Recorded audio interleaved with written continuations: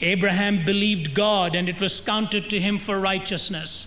How many times I've been at meetings where somebody will stand up and talk about a financial bankruptcy, or he will talk about a debilitation in his body, or he will talk about the loss of a loved one.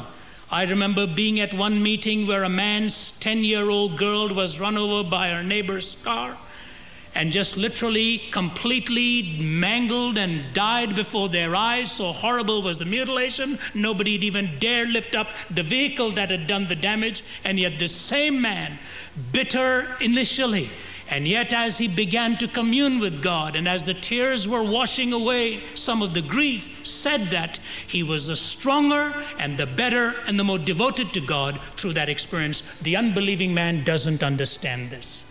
He has seen the unseen. Like the Bible talks about Moses, he saw him who is invisible.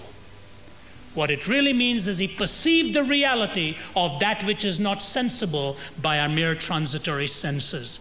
We are scorned because of exclusiveness. We are scorned because we see the unseen. We are scorned because we challenge the sovereignty of man. Moses before Pharaoh, John the Baptist before the rulers of his day, Jesus before Pilate, and you go on and on and on, and we point the finger against those who claim sovereignty against God, and as a result, we get our scorning.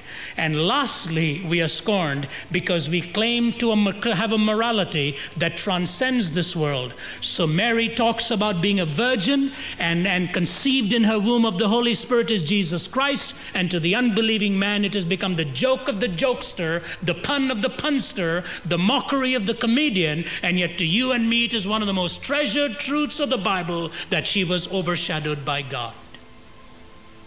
Look at all of this. There are people who have tried through the use of the sword to do away with the gospel. Islam tried it.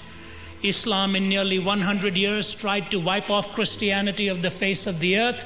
Its story is written in history. It is true.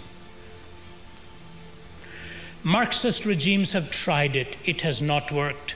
Russia has tried to smother it so much it has not succeeded. China tried to smother it, it has not succeeded. Vietnam is trying to smother it, it is not succeeding.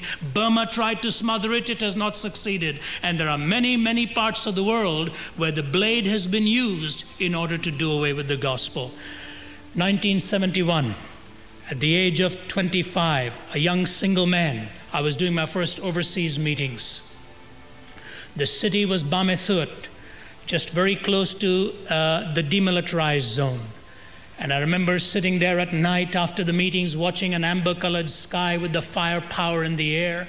So often driving past highways where dead bodies were strewn after having walked on mines. It was a young life trying to handle a nation at war. And I remember the first day I arrived there, I asked if I could walk over to the graves of missionaries. And I forget the exact number, but there, near a pile of rubbish, was a gently marked off grave with chains around it and green and white stone, if I remember. And carved on stone were the names of these five or six missionaries of the Christian and Missionary Alliance who had been brutally murdered. I think the year was 1968 as the Viet Cong marched in and did away with them callously, brutally, and without any consideration of dignity for human life we lost them to the atrocities of men.